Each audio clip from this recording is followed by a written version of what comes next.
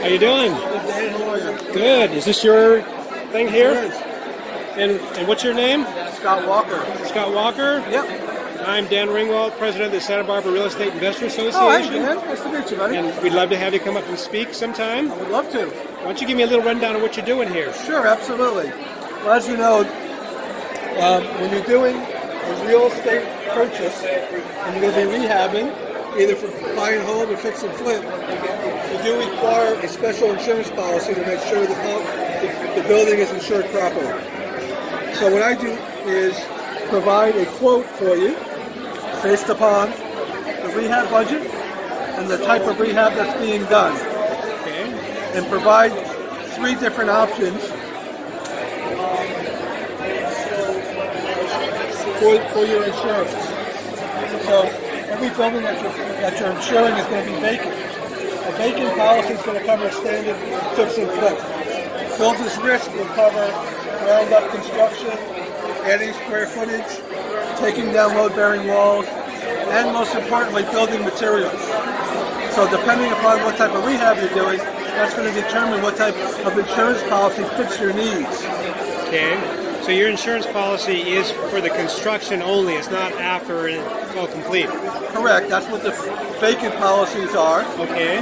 Once, if you're going to buy and hold, you Okay. then convert that policy into a landlord policy. Okay. And part of the full service is, from a landlord policy, you want to make sure that your tenants have renter's insurance, and we talk about why it's so important for your tenants to have renter's insurance to protect you as the owner of the property, not being responsible for spending extra money out of your pocket to satisfy your renter in case there's an insurance claim related to the property itself.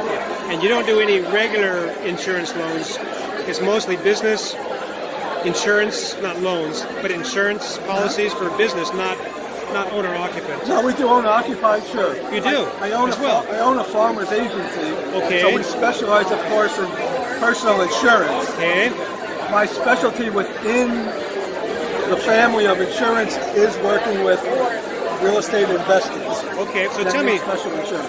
I live in Santa Barbara. I run the Santa Barbara Real Estate Investors Association. We're on about maybe seven acres, up about 2,000 feet in the Right. mountains of Santa Barbara. So we uh, cannot get insurance anywhere except for Fair Plan, California Fair Play. California Fair Plan. Do you know of any way of getting around that and getting something that's less expensive? Well, there's actually um, what's called the surplus market. So those are out-of-state insurers or insur- insurers that are not covered under the, the state ins- uh, reinsurance program. Like Lloyd's of London? So, yeah, Lloyd's is one, Scottsdale, Lexington. Yep. Um, there's a variety of those. Now the challenge is this: depending upon where you where you're located, there's only a certain amount of policies available. And once once the insurer reaches their maximum allotment, they're not going to issue any more policies.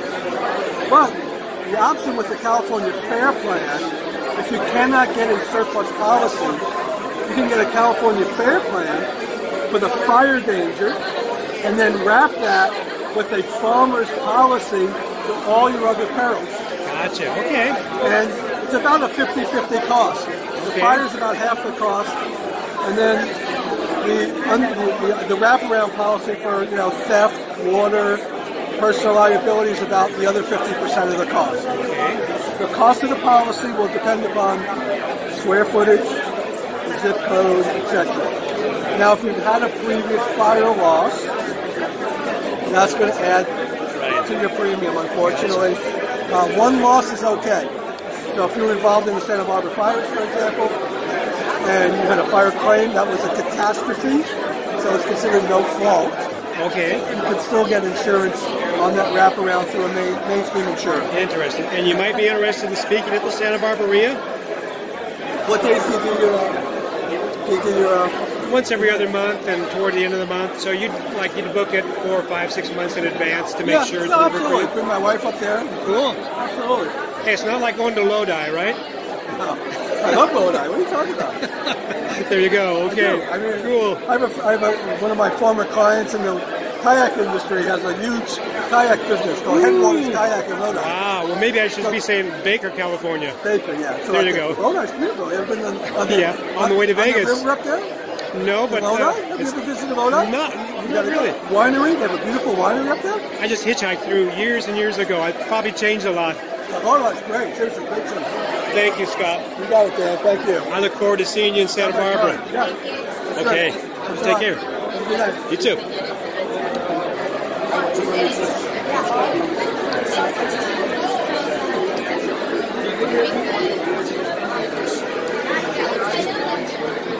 How you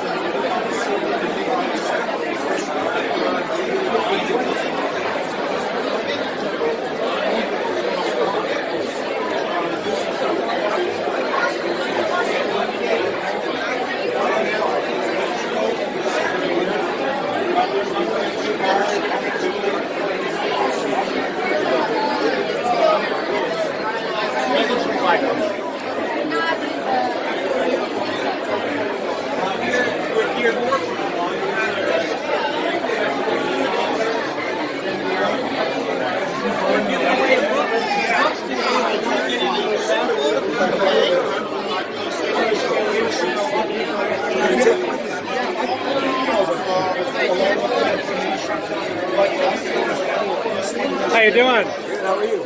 Good. I'm Dan Ringwald.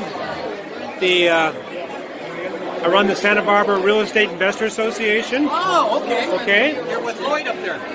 Yeah, he's in Ventura. Yeah. I'm in Santa Barbara, and we run it uh, every other month. And so we're always looking for people like you to come up and speak at our meetings. Excellent. Would you be interested in doing something like that? Might be interested, yeah. Okay, cool. Might be something to be interested in. Very cool. Why don't you give me a little rundown of what it is that you're doing here? Well, we provide foreclosures daily, provides real estate leads on the national level. We have a we have quality, fresh, guaranteed real estate leads nationwide, and uh, we do this we do this across the nation. We're a corporate sponsor here with Lloyd. Okay. And Okay. that's what we do. Our, our leads are either subscription based or they're a one time purchase. There are 31 different niche markets that are available that we provide for everybody. We, we primarily get the leads or we source the leads from courthouse records, uh, court, the courthouses, the county records, Department of Motor Vehicles, and credit bureaus. Okay, and these are distressed properties before they go into foreclosure. Not just foreclosures. Obviously, foreclosures are basically lis pendens, notices of default, auctions, notice adjusting sales. But we go beyond that. We can also provide probate leads, divorce leads, absentee owner leads, apartment buildings up to 15 units. Not we, started foreclosures daily in 2004. That's when we got the name. But we've expanded the type of that we can get beyond foreclosures. Okay. And we've done that in 31 different So are you are you able to get us in contact with the owners of the property? We provide you the data Okay. so that you're able to contact the owners, negotiate the deal, and then move on to the next deal. Okay, great. So we provide the real estate data for you. Okay. So it's it's probably a lot more current than the kind of data you might get someplace else. Yes. Yes. Excellent. Because we guarantee that the leads are fresh. Ooh, that's good. And there's real estate attached to those leads. It's not just a vacant property. That's right. And we, we can also do vacant, vacant land also. Okay. Vacant land is a really good also.